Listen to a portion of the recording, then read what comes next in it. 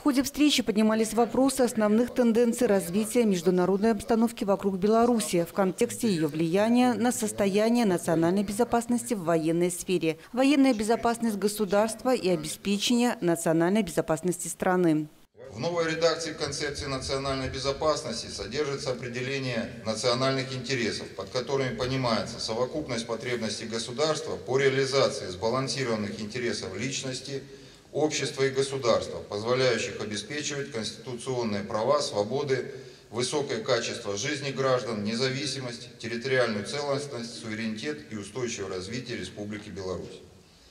Несмотря на то, что национальные интересы формулируются на основе баланса интересов личности, общества и государства к видам безопасности чаще всего относят не перечисленную триаду, а совсем иные категории, которые обозначены как сферы безопасности, направления безопасности – политическая, экономическая, научно-технологическая, социальная, демографическая, информационная, военная и экологическая. Мы говорим о национальной безопасности и, ну, естественно, защите наших интересов национальных, в том числе культурных интересов, того наследия, которое нам передано историей. Мне сегодня очень вообще беспокойно становится о тех событиях, которые происходят в Ираке, да, и вы смотрели по новостям, тысячелетняя история, культура уничтожается просто вот за секунды. И, наверное, сегодня надо каждому из членов нашего общества задуматься о том, как сохранить себя, поэтому столько вопросов уделяется пропаганде, разговору с членами трудовых коллективов, потому что надо смотреть, что происходит в мире, для того, чтобы стать еще плотнее.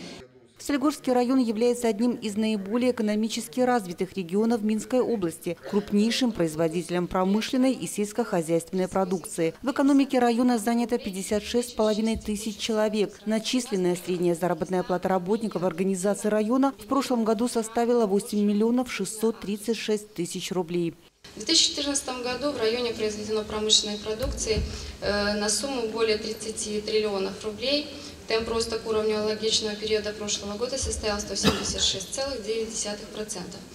Э, наиболее высокие темпы в 2014 году достигнуты в химической промышленности за счет увеличения выпуска калийных удобрений. Э, удельный вес Солигорского района в областном э, объеме промышленного производства составил 33,3% и увеличился на 10% пунктов по сравнению с 2013 годом. За 2014 год в аграрном секторе экономики района произведено валовой продукции сельского хозяйства в сопоставимых ценах на сумму 1,2 триллиона рублей. Говоря о приоритетных направлениях 2015 года, экономисты на первое место ставят повышение эффективности работы предприятий за счет качественных показателей, таких как чистая прибыль, рентабельность, привлечение прямых иностранных инвестиций.